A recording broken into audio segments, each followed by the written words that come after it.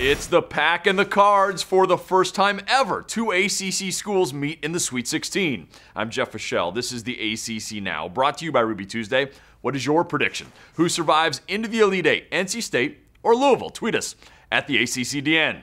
Last month, NC State got the W at Louisville. Cat Barber led the pack with 21 points in the 74 65 win. Montrezl Harrell has not forgotten. He was held to his worst shooting performance of the year, just one of five from the field, finishing with seven points. I mean, it, it was a tough shooting night for me. Um, you, you're always gonna, if you keep playing the game basketball long enough, you're always gonna have a tough night. But I mean, it, it's just you know, uh, move, a learning process and moving forward. I mean, I seen how they was playing. Mean, they really didn't see too many doubles.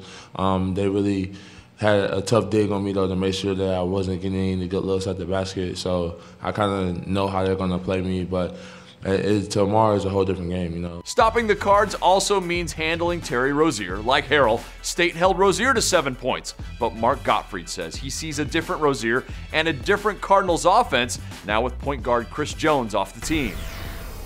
They're all more aggressive uh, offensively, and I think Rozier is the biggest guy. He, he's the guy that's um, you know, he seems to hunt for his shots more.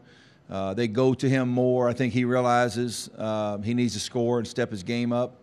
So, um, you know, sometimes when you lose a, a good player, especially a, a, guy offensively that can do what, what Chris Jones could do, those other guys, they know they have to uh, play at a higher level. This is just the fourth time ever that two ACC teams have met in the NCAA tournament. In the 81 Final Four, James Worthy's Tar Heels beat Ralph Sampson's Cavaliers. Two years later in the Elite Eight, Sampson and the Hoos lost to Jim Valvano's Team of Destiny. And in the 01 Final Four, Duke beat Maryland on the way to the title. We know them better, and they know us better. We have great respect for them. They beat us at home. A lot of teams don't beat us at home. And it was a close game, and then they pulled away and hurt us on the backboard, hurt us off pick and rolls, did a lot of really good things. And they're a team right now that can beat you so many different ways.